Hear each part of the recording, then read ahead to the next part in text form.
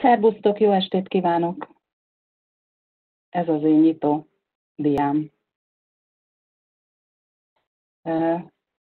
A mai webináriumon a kis és nagy projektekről szeretnék beszélni, melyek az Újpesti Csokonai Gimnáziumban zajlottak az elmúlt négy évben. Bocsánat, bocsánat. Jó, oké. Okay. Még, bocsánat, még, még ne kezd el, légy szíves. Jó, rendben.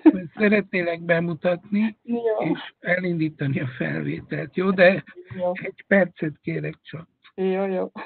Tehát köszöntök sok szeretettel mindenkit itt most a ma esti webináriumon, és a ma esti előadónk egy igazi Jedi, Tarni Éder Marianna, aki eléggé jól ismert a hazai digitális pedagógiai berkekben.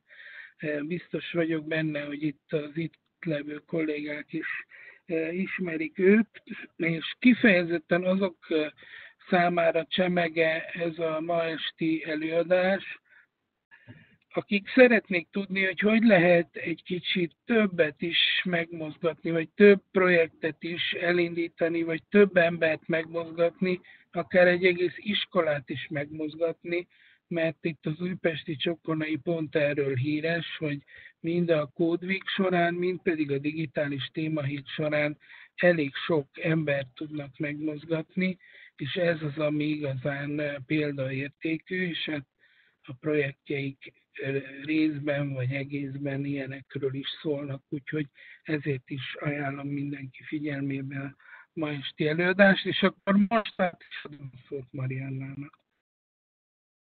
Jó estét kívánok, szervusztok! Eh, ahogy Attila is mondta, Tarnéder Marianna vagyok, az Újpesti Csokonai Vitéz Mihály Általános Iskola és Gimnázium tanítója, és az elmúlt négy év digitális témaheti projektjeiről szeretnék nektek mesélni, és egy picit buzdítani mindenkit, hogy aki még soha nem vett részt digitális témahéten, annak is érdemes elkezdeni. Érdemes elkezdeni kis projekttel, de ha már most be lehet vonni egy-két kollégát, akkor azt is érdemes megpróbálni. És aztán utána, akinek még van kedve, és talál hozzá partnereket, egészen a nagyiskolai projektig el lehet jutni. A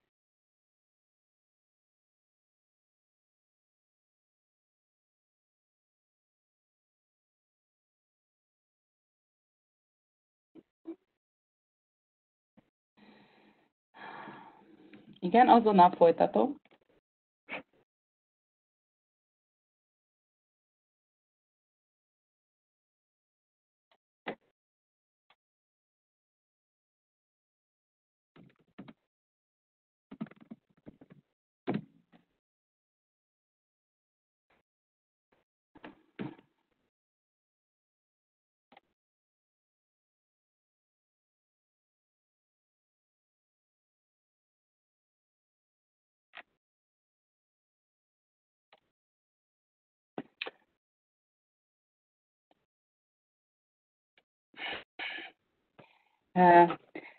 Ez a második dia, ez egy icipicit az, az iskolámról fog szólni.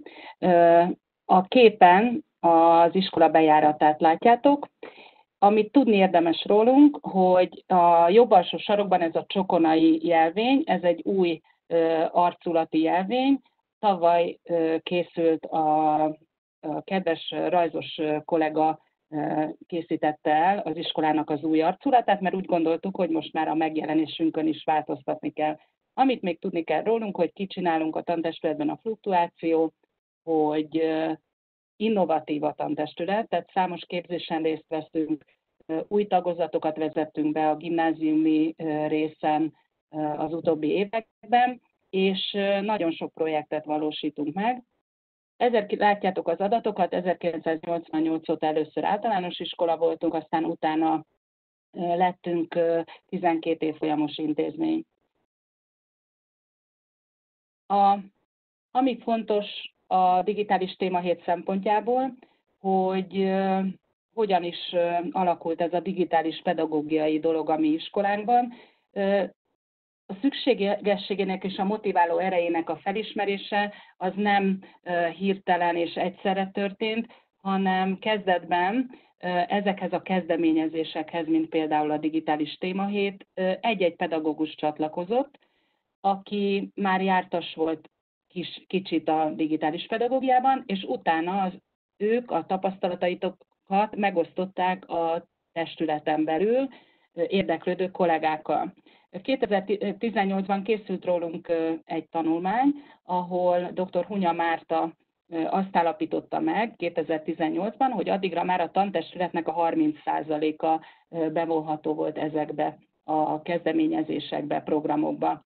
Most ott tartunk, hogy az egyik igazgató helyettesünk mesterprogramot ír a digitális pedagógiából, harmadszor vagyunk Microsoft Innovatív Iskola, és hogy tervezzük, hogy a digitális fejlesztési tervet beépítjük a pedagógiai programunkba. Ezeket csak azért mondtam el, mert hogy idáig a témaheteken való részvétel során jutottunk el, és ezeknek kapcsán jutottunk el odáig, hogy ez nagyon fontos az egész iskolára nézve, ez a digitális pedagógia. A, mi volt a témaheteknek a szerepe ebben a folyamatban, és mi a témaheteknek a szerepe az iskolai innovációkban, és miért éppen a témahetek, amiket mi választunk.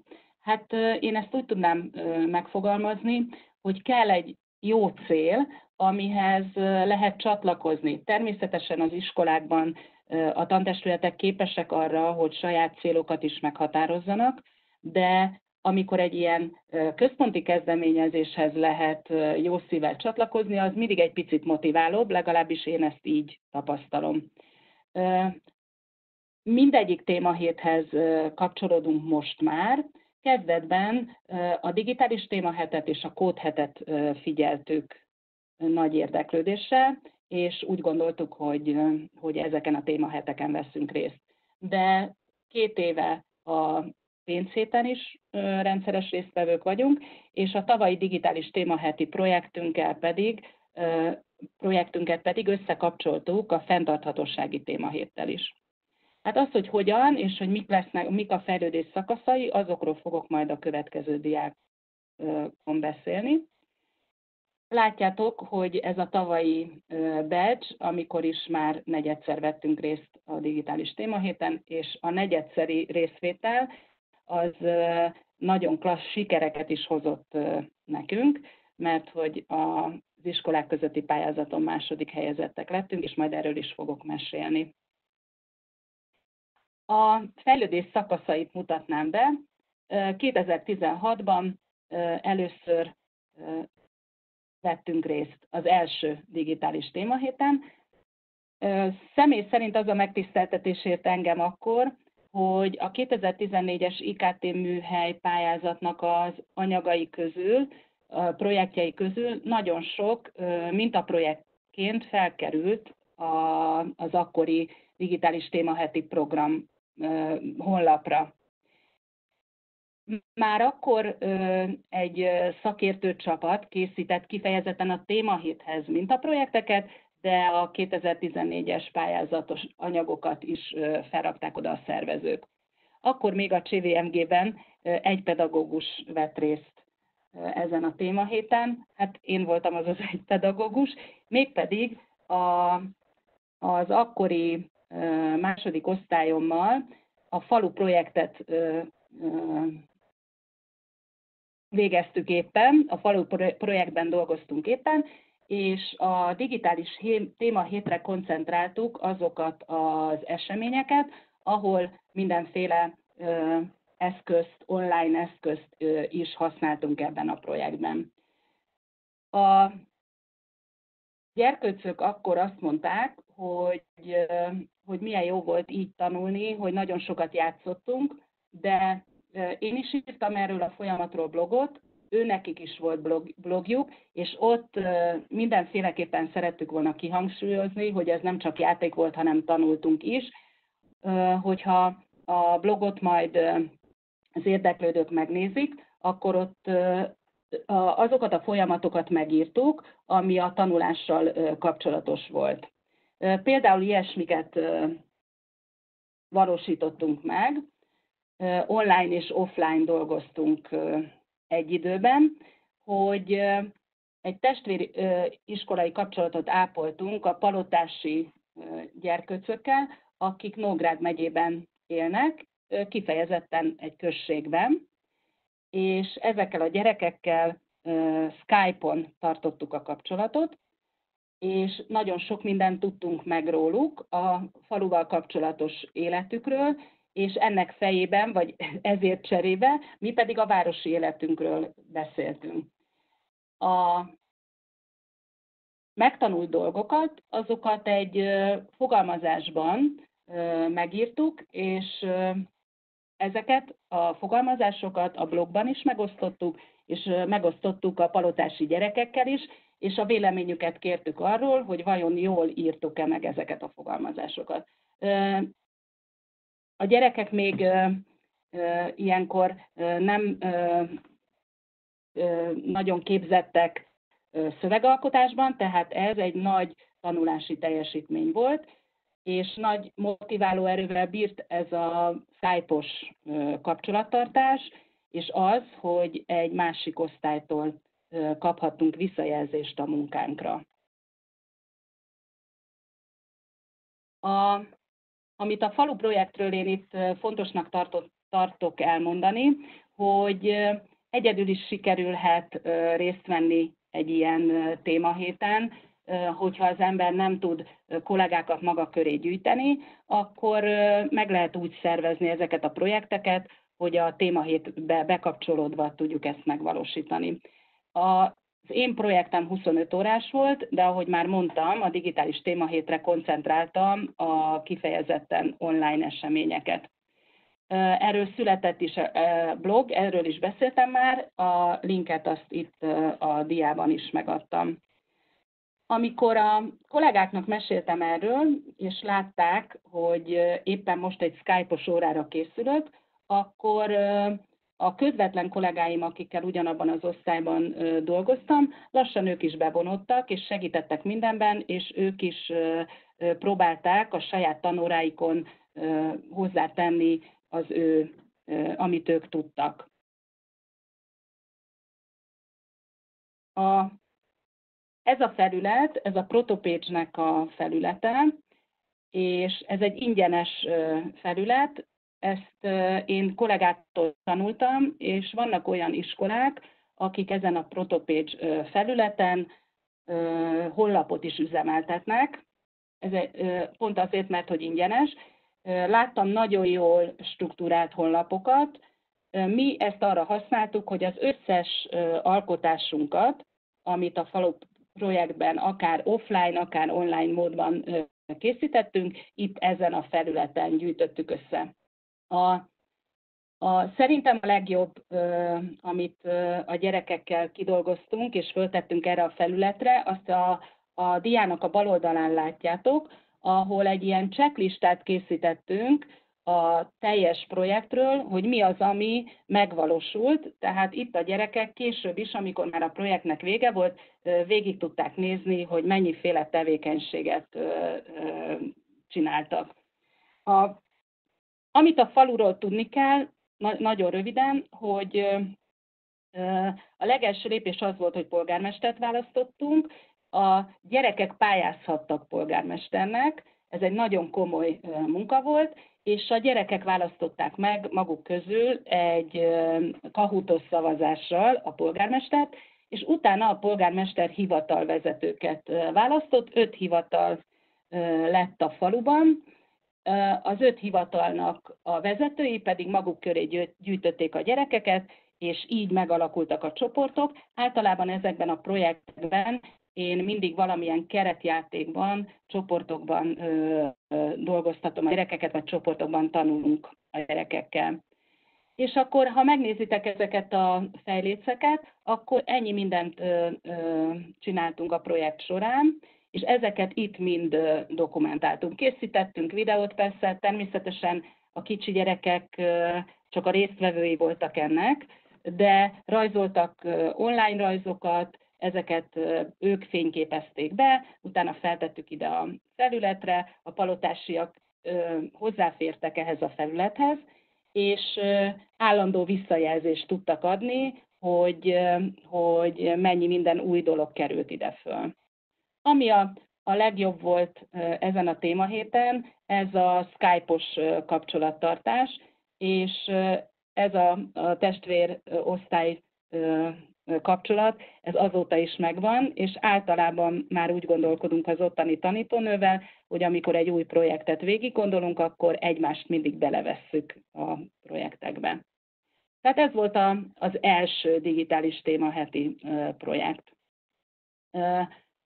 A második témahét 2017-ben úgy alakult, hogy már az iskolából többen is voltak érdeklődők, de még nem szerveztünk nagy egységes iskolai projektet, ami jellemző volt erre a témahétre, hogy főleg külsős programok voltak. A digitális témahétnek a felületén kerestük ezeket a, a külsősök által vagy cégek által felkínált programokat, és ezekre bejelentkeztünk, és nagyon sok ilyen programra sikerült elmenni. Ami, ami például érdekes lehetett ezen a héten, hogy volt, volt az Etalon School nevű cég, aki 3D animációs oktatást mutatott 5.-8. évfolyamosoknak, aztán volt ők ki is jöttek hozzánk, és az informatika termünkben is tartottak ilyen előadást. Aztán voltunk irodalátogatáson az EPAM-nál. Ez azért volt nagyon érdekes, mert ott már a, a felsős gyerekek kipróbálhatták ezeket a VR szemüvegeket, és nagy lelkesedéssel jöttek vissza, hogy, hogy milyen jó volt ez a program. A külsős programok mellett, amiről aztán a gyerekek beszámolót készítettek, és ezek a gyerekbeszámolók és a pedagógus beszámolók végül is eljutottak az egész tantestülethez, ezek mellett még mindig eléggé elszigetelten voltak kisebb projektek. Amiről én mesélni tudok, az megint csak az enyém, ez a Meseország projekt volt. A Meseország projekt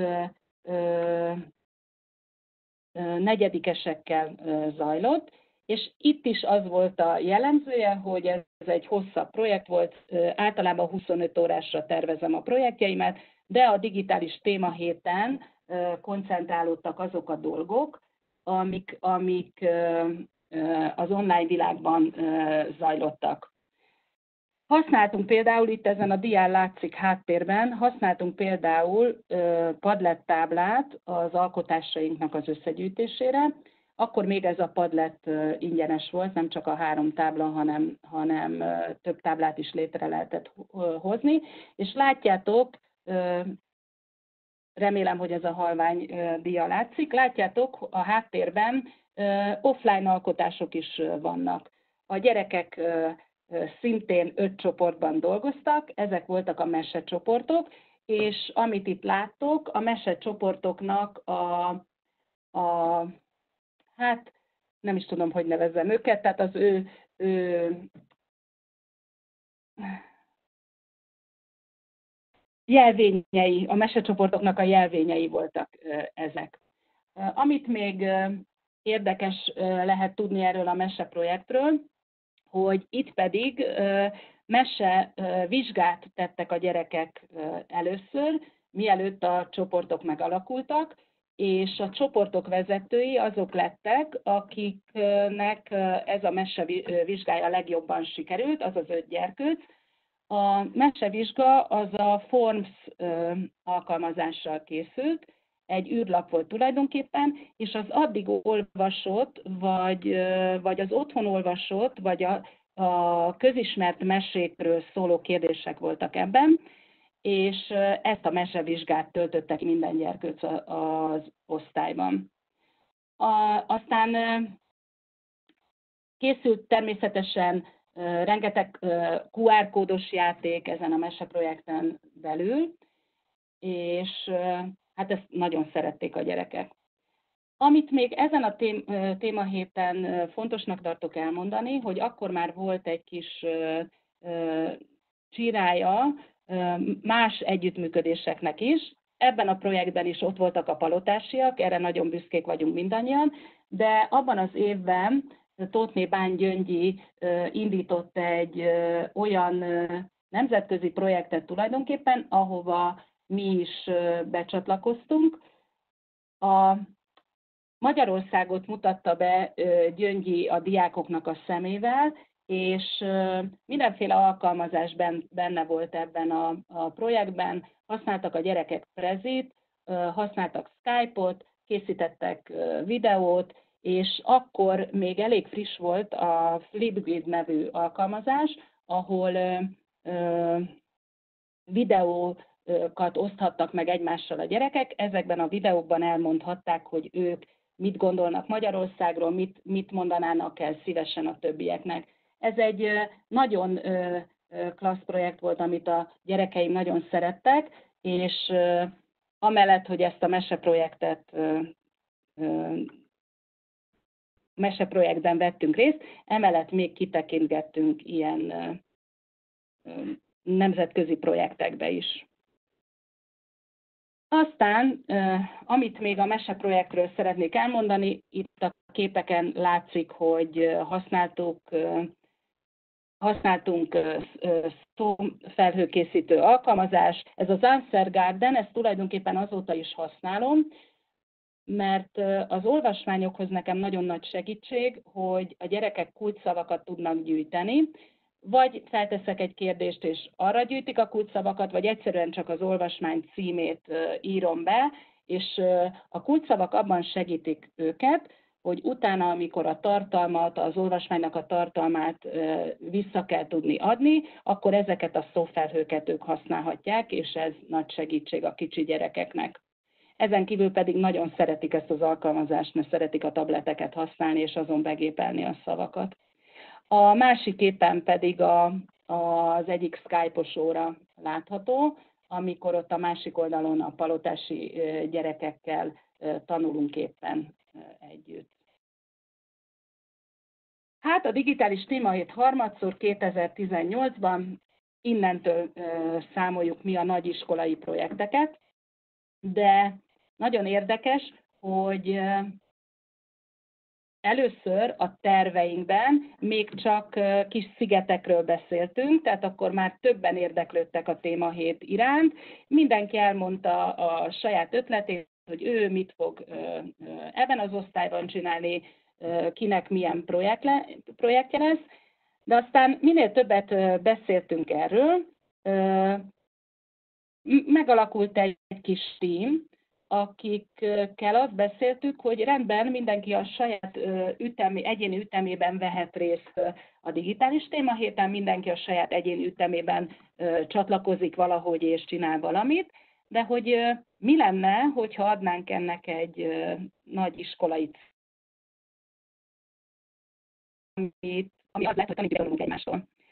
És azt találtuk ki, hogy a Skype-on iskolán belül kapcsolódunk össze, és mindenki a saját kis projektjéből a többieknek mutat valami részletet. Így aztán volt olyan, hogy, hogy az egyik kollégám az ő híres egyidejűség projektjéről, amit ő a magyar, magyar és történelem órán csinál a gyerekekkel, kifejezett előadást tartott, de úgy, hogy ő az osztályában dolgozott a, a hatodikosokkal, a Skype-on kivetítettük az ő munkáját, és akit érdekelt, az pedig beülhetett a díszterembe, és a díszteremből, díszteremben közvetítésen nézhette, hogy mi is zajlik a, a hatodik osztályban. Erre az alkalomra, ez az egyik híres alkalom, erre az alkalomra szülőket is meghívtunk, és a hatodikosok szülei el is jöttek, és nagy örömmel látták, hogy hogyan dolgoznak a gyerekeik. Persze azt is lehet ilyenkor kérdezni, hogy akkor miért nem óralátogatásra mentek a terembe, de ez így mindenképpen izgalmas volt. Ekkor próbáltuk ki először több kollégával, hogy hogyan lehet a, az online közvetítést, mondjuk egy Skype-on, hogyan lehet összekapcsolódni egymással. Ide ide írtam, hogy, hogy visszautalva arra a tanulmányra, hogy ekkor a kollégák 30%-a volt benne ebben a folyamatban. A képen az a bizonyos flashmob látható, amiben minden évben, amikor meghirdették, mi részt vettünk. Ez viszont megmozgatta szinte az összes gyereket, mert hogyha nem is vettek részt a betűnek a kialakításában, de abban a folyamatban, amikor eldöntöttük, hogy kik is fognak majd betűt alakítani, ott minden osztály benne volt ebben a folyamatban. És hát nagyon sok kollega segített, hogy ez tényleg jól megvalósítható legyen ez a flashmob. És akkor elérkeztünk a negyedik digitális témaheti alkalomhoz, a tavalyihoz, ami a sikert hozta számunkra.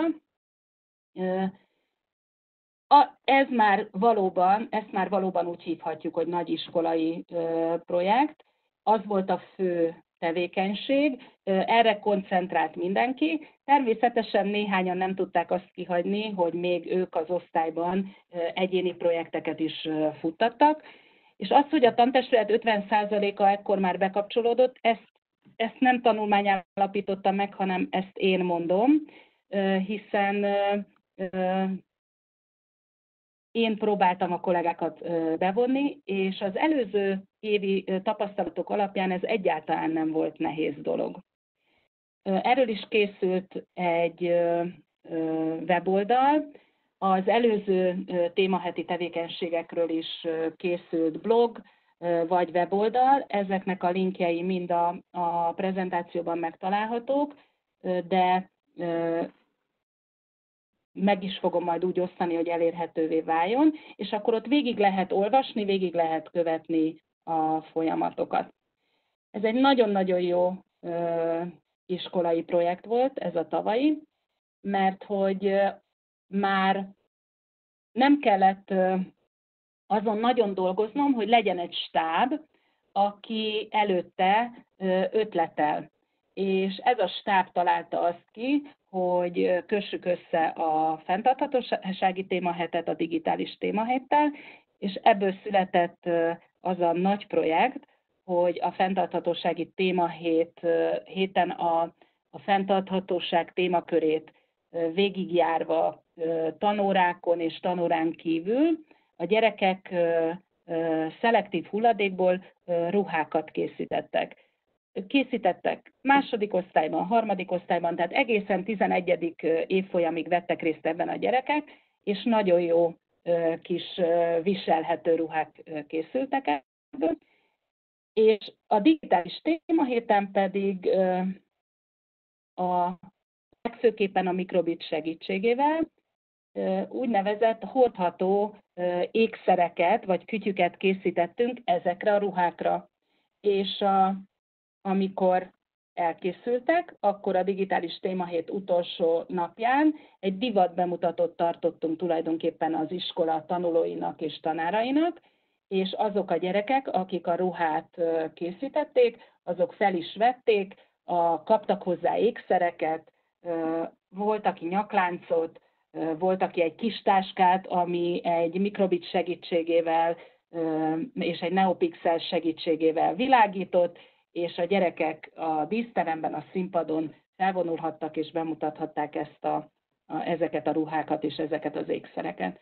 És ebből készült egy videó, és hát a videót aztán a, a szülői közösségnek, a, a tanuló közösségnek, aki nem tudott ott lenni a díszteremben, bemutattuk, és nagyon nagy sikere volt ennek a videónak.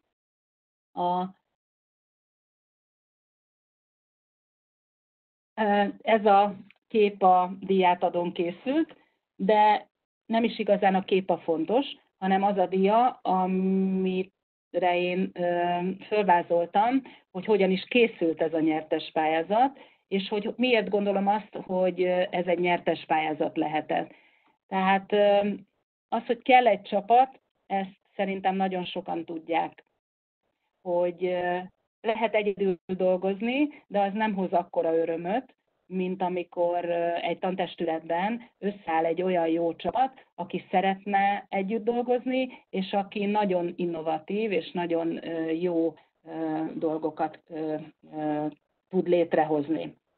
Ez a két témahét összekapcsolása, ez szerintem egy elég jó találat volt ahhoz, hogy nyertes pályázat lehessünk, hiszen készült egy rövid videó, ami, ami úgy kezdődik, hogy ugye a, a világnak a, akkor még a két legnagyobb problémája, ez a fenntarthatóság volt és a digitalizáció. Tehát tulajdonképpen az utóbbi időben ez volt az a két téma, amiről a legtöbb szó esett, és amit mindenképpen fontos közvetítenünk a tanítványainknak, hogy ez a két téma igenis nagyon fontos. Ami, amire jó egy ilyen nyertes pályázat, hogy, hogy rendkívül nagy szerepe van a közösségépítésben. Tehát a, a digitális témahét díjátadója után még hetekig ö, beszéltünk arról, hogy milyen jó volt együtt dolgozni, és hogy ö, emlékszel, hogy a gyerekek milyen klasszat csináltak, és hogy hogy élvezték azt a, a divat bemutatót. Tehát, hogy ez beszédtéma volt sokáig, és összekovácsolta az embereket, olyanokat is, akik addig nem nagyon dolgoztak még együtt. Aztán Hát fontos volt, hogy ezek a termékek, ezek jól sikerüljenek, bemutathatók legyenek, és ehhez természetesen megint csak a, tulajdonképpen a, a tudásmegosztás és a közösségépítés segített minket hozzá, mert hogy kívülről kaptunk szakemberektől segítséget, tehát utána jártunk például annak, hogy hogyan célszerű egy mikrobitet erre a folyamatra felhasználni, hogy lehet azt úgy programozni, és mit lehet belőle kihozni és építeni, és nem csak a belső kapcsolatokat ápoltuk ezzel, hanem a külső kapcsolatokat is. És ez a pedagógusok számára nagyon motiváló volt. Hát aztán nálunk bevallom, hogy tavaly fordítva történt a folyamat, mert hogy amikor már lezajlott az esemény, utána írtuk meg tulajdonképpen a pályázati dokumentációt. De maga a pályázati dokumentációnak a meg, megírása is összekovácsolt még olyan embereket, akik egyébként a, a megvalósításban nem százszerzalékig vettek részt, viszont egy ilyen dokumentumnak a megírásában nagyon sokat tudtak segíteni. Hát az eredmények Ugye a látványos része az a maga a díj volt, a rejtett az, amiről pedig eddig beszéltem, a közösségépítés, a tudásmegosztás és az egyebek. És akkor itt egy pár kép arról, hogy a kicsik szelektív ruhában, aztán itt már a divat, divat bemutató előtt ez a nagyon egyszerű szemetes zsákból készült ruha, egy mikrobit nyaklánccal, ami, ami amit a hetedikesek programoztak, hogy mi jelenjen meg ezen a nyakláncon. Itt látszik, hogy az informatika teremben azt hiszem, hogy talán a hetedikesek programozzák éppen a mikrobitet, aztán a storyboard alkalmazással képregények készültek a fenntarthatóság témakörében, tehát hogy ne csak, ne csak manuálisan alkossunk, hanem, hanem magát a fogalmat, a mögötte rejlő tanulási tartalmakat is meg tudjuk jeleníteni, ehhez használtuk a storyboardot. Itt pedig a picik, szintén a Skype-on, ezt a DTH feliratot rakták ki a Palotási Általános Iskolával. Mi megrajzoltuk csomagolópapírra a D betűt és a H betűt, ők pedig A4-es lapokra a T betűt, és akkor egyszerre fölmutattuk, és így készült ez a, a kép.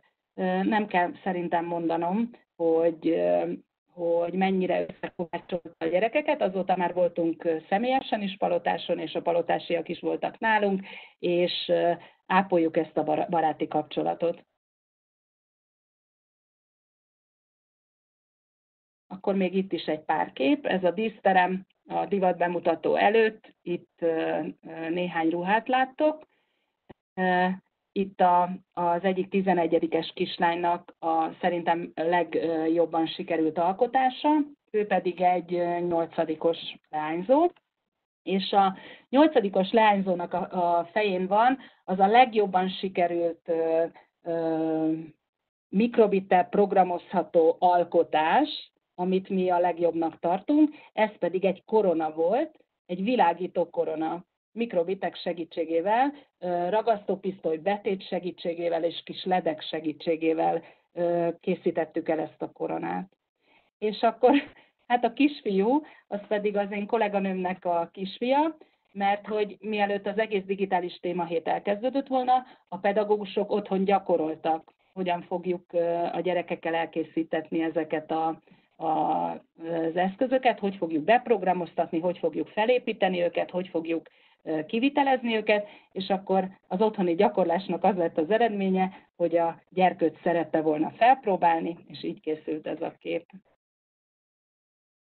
Jó, ez egy videó, ez a, az a rövid videó, amit a, a, az eredményhirdetésen mutattunk be.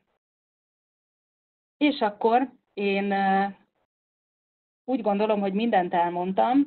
Köszönöm a figyelmet, és én abban bízom, hogy azt az ívet, azt a folyamatot sikerült a prezentációmmal bemutatni, a, ami kapcsán egy kicsi, egyszemélyes dologtól el lehet jutni oda, hogy egy egész tantestületet tudunk bevonni ezekbe a dolgokba. És még itt utoljára is azt mondanám, hogy kell hozzá ez a központi kezdeményezés az, hogy digitális témahét, hogy ahhoz lehet csatlakozni, és ez már is egy hívószó, egy motiváló erő lehet egy tantestületnek. Még annyit szeretnék utos, utoljára egy mondatban mondani, hogy készülünk az ötödikre, de még nem szeretnék elárulni ezzel kapcsolatban komoly dolgokat, de talán egy picivel nagyobb volumenű projektet sikerül majd most nagy iskolai szinten megvalósítanunk, mint amilyen a tavalyi volt.